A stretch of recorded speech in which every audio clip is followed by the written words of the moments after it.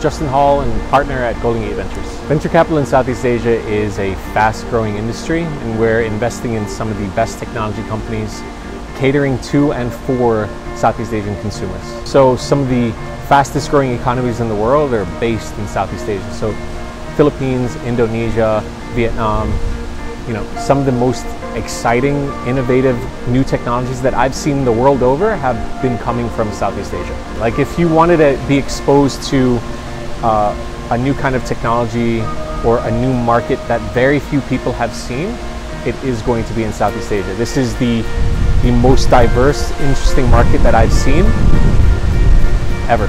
Be okay with risk. It's not easy to just jump into an entirely different market or travel across the globe to an extremely different place. I think I wish I had known in retrospect how easy it is to actually move to another continent. I always think that it's going to be you know, very scary or extremely difficult, even impossible to go to another continent, especially after having been born and raised in the United States. Uh, but once you actually get here, once you make the right connections, once you make the right friends, meet the right people, it actually makes it a lot easier.